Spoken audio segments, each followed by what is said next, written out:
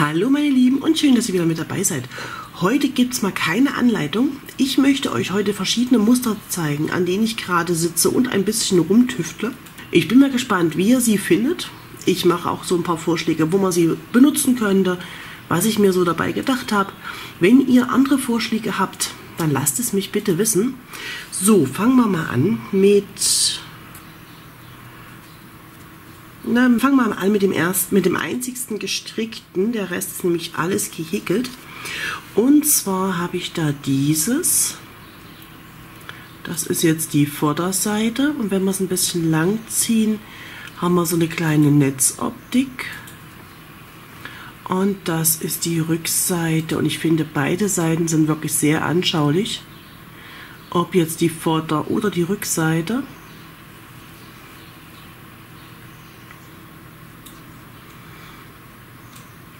Wie sich das Muster im Dreieck verhält, habe ich jetzt noch nicht ausprobiert. Also ein Dreieckstuch, ähm, wie gesagt, weiß ich nicht, weil ich es noch nicht im Dreieck ausprobiert habe. Bis jetzt nur auf gerade. Und da habe ich gedacht, da könnte man vielleicht so eine Art, eine leichte Sommerjacke machen, so für den Frühling oder so. Oder als Sommerschal oder Als Kissenbezug denke ich mir eher weniger durch die ganzen Löcher.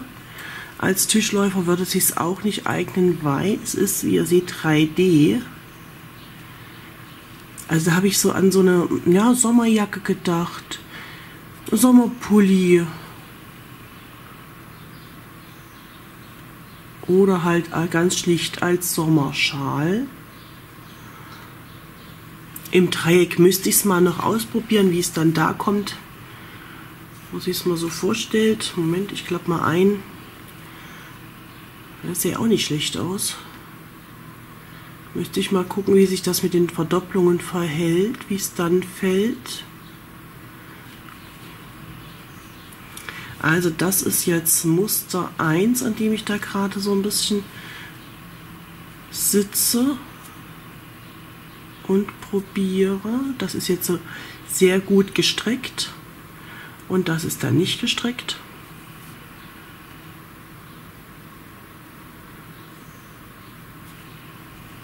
Und nochmal die Rückseite nicht gestreckt. Und Moment, gestreckt. Also wie ihr seht, eigentlich sind beide Seiten sehr, sehr schön und auch sehr gut zum Anschauen. Wenn ihr da noch Ideen habt, wofür sie noch geeignet sind, außer jetzt für eine Sommerjacke, Schal oder zarten Pulli, lasst es mich mal in den Kommentaren wissen, weil das Muster gefällt mir wirklich sehr, sehr gut.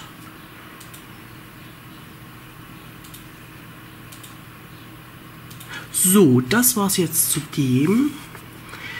Dann das ganz bunte. Ich habe jetzt noch keine Fäden vernäht, also die sind wirklich vom Ausprobieren jetzt hierher. Wie ihr seht, hier habe ich mit drei Farben gearbeitet.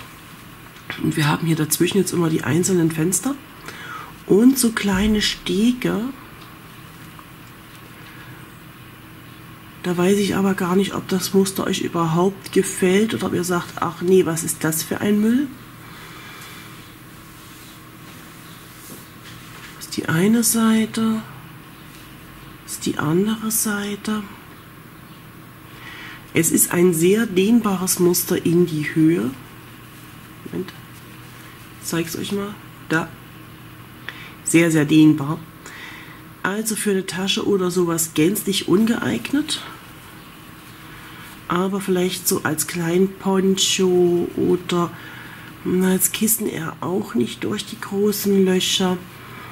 Na, vielleicht auch so als Schal. Könnte ich mir vorstellen. Pulli auch nicht, dafür sind mir die Löcher einfach zu groß. Also hier bin ich wirklich noch am überlegen, was man mit dem Muster machen könnte. Wie ihr seht, das ist auch sehr flexibel, sehr dehnbar in alle Richtungen. Also das muss wirklich schon dann was sein, wo nicht so viel Druck auf die Maschen kommt.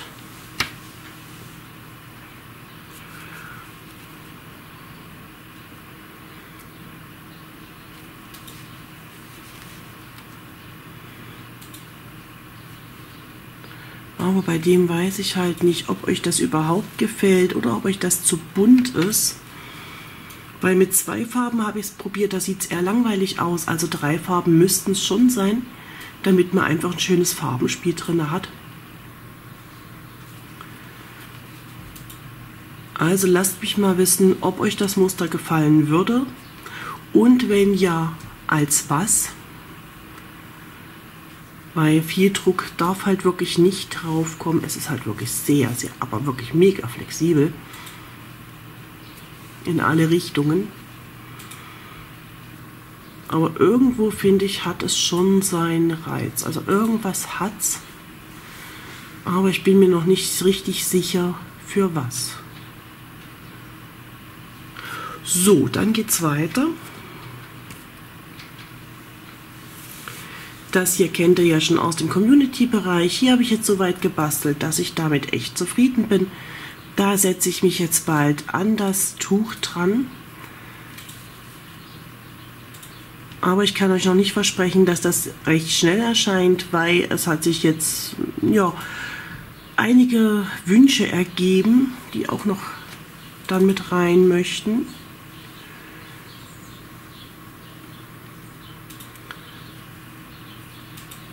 Hier haben wir es dann immer in diesen Übergängen, ist das so leicht überlappend, da seht ihr es. Hier haben wir eine schöne Zierkante und dann über die Zierkante wie so ein kleiner Wasserfall gehen dann die Maschen. Und das ist die Rückseite. Die ist dann ganz, ganz glatt und eben.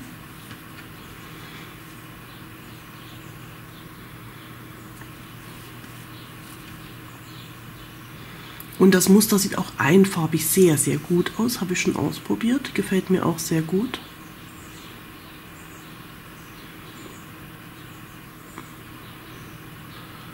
Also das wird dann ein Dreieckstuch.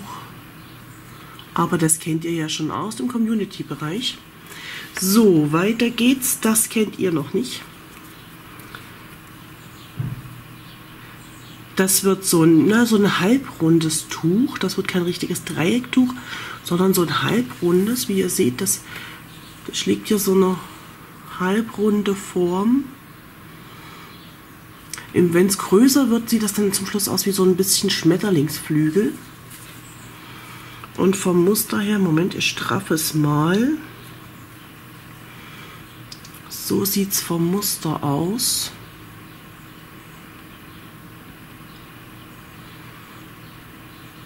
Und jetzt erklärt sich natürlich auch, warum Schmetterlingsflügel. Wenn man das dann einmal gewaschen hat und das ist dann ein bisschen gezogener, sieht das Ganze nämlich dann schon so aus. Und da erkennt man schon wunderbar den Schmetterling. Und das habe ich mir auch als Tuch gedacht, aber halt nicht als klassisches Dreiecktuch, sondern mal was ganz anderes. Und das Muster finde ich einfach nur wunderschön. Könnt ihr mal sagen, was ihr darüber denkt, aber ich finde das Muster einfach nur wirklich wunderschön.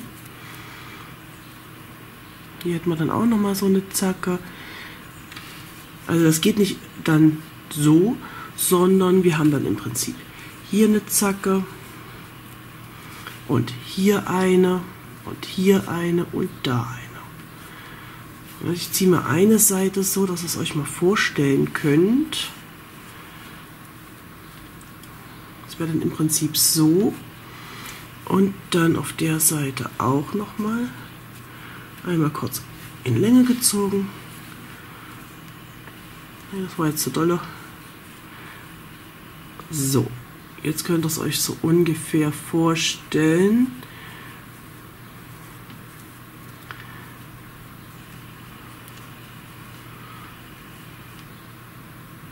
Das, also richtig klappt das nicht. Also so auf dieser Seite. Stellen wir uns jetzt einfach die Seite vor. Aber wie ihr seht, da sieht man schon wunderbar den Schmetterling. Und genau so wächst es dann weiter in die Höhe und die Seite wird dann auch zum Schmetterling. Die will gerade nur nicht so, wie ich das will.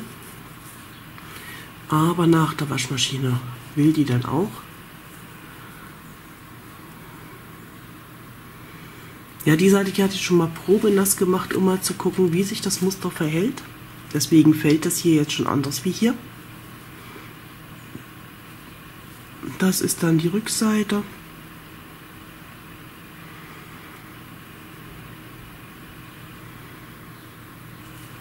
Und das habe ich mir so als Tuch gedacht.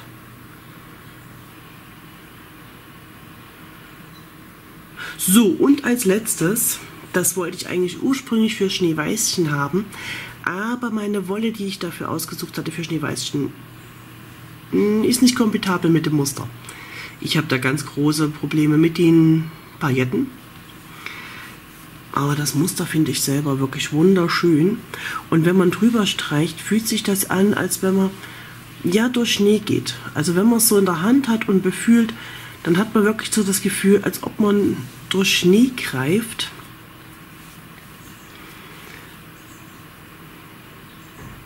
Könnt es euch mal genau angucken und mir mal dann bitte sagen, wollt ihr das haben, wollt ihr das nicht haben? Wie ihr seht, das wird auch ein Tuch. Allerdings halt kein glattes an der Seite, sondern wir haben dann immer diese Bögen. Das heißt, wir brauchen bei diesem Tuch keinen extra Rand. Den bringt es gleich mit. Halt nur in Bogenoptik.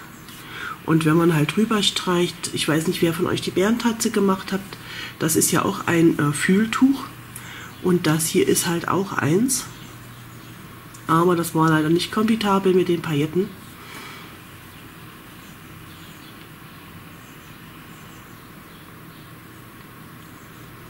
Und so sieht es von nahen aus. Ich ziehe es gerade mal wieder. Moment, mein Finger da rein, ein Finger da rein. Und ich ziehe. Ihr könnt ihr nochmal genau gucken.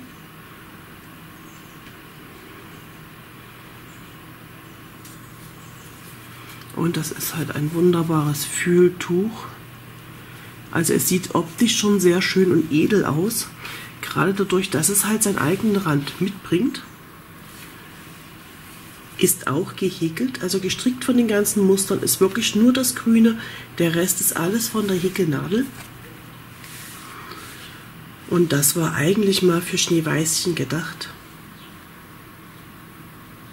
Wollte davon ein Tuch haben oder sagte, ach nee, das, das mag ich nicht, das will ich nicht. Lasst es mich mal wissen. So, wir hatten jetzt das gestrickte Muster Nummer 1, die Kästchen Muster Nummer 2, das, was ihr schon kennt, Muster Nummer 3, der Schmetterling Muster Nummer 4 und unser zarter Frühschnee ist dann Muster Nummer 5. Ich finde, Frühschnee passt zu dem wirklich, weil es, es fühlt sich so an, es fühlt sich wirklich so an, als wenn man so über frisch gefallenen Schnee geht. Nur nicht so kalt. Das ist halt wieder so ein Tuch, äh, was man eigentlich den ganzen Tag in der Hand haben kann. Wie es bei der Bärentatze halt auch ist. So, da haben wir sie alle. Und an diesen Mustern sitze ich momentan und bastel an ihnen ein bisschen rum und bin da so am Tüfteln. Hier weiß ich, bin ich mir wirklich noch nicht sicher, für was man das einsetzen könnte. Irgendwo finde ich, es hat was. Es macht auch wirklich mega viel Spaß, das zu häkeln. Aber ich bin mir noch nicht sicher, für was man das einsetzen könnte. Hier ein Frühlingspulli, eine Jacke, ein Sommerschal, Frühlingsschal, irgendwie sowas in dieser Richtung. Oder für den Herbst würde auch gehen. Für den kalten Winter dann denke ich mal eher weniger. Aber für den Herbst wird es auch funktionieren. Oder man macht so eine Art Überwurf davon. Das würde vielleicht auch ganz gut aussehen. So, hier haben wir den Schmetterling. Hier dann das. Bei den dreien, lasst mich mal wissen, ob ihr an den Mustern Interesse habt. Bei dem weiß ich, habt ihr schon Interesse bekundet, schon im Community-Bereich. Aber bei den beiden bin ich mir halt noch nicht sicher. Lasst mich das mal wissen, was ihr zu Muster 4 und 5 denkt. Wollt das haben, wollt das nicht haben. Muster 3 weiß ich, wollt es schon haben. Und bei den zwei Sachen, wollt das haben und wenn ja, für was wollen wir es benutzen? Also bei dem bin ich mir wirklich aber sowas von noch gar nicht sicher. So, meine Lieben, ich bin mal gespannt, was ihr mir jetzt schreibt, was ihr zu den ganzen Musterbrot-Versuchen sagt. Ich bedanke mich fürs Zuschauen, freue mich schon über viele Ideen von euch. Sage Dankeschön fürs Anschauen und Tschüss, bis zum nächsten Mal.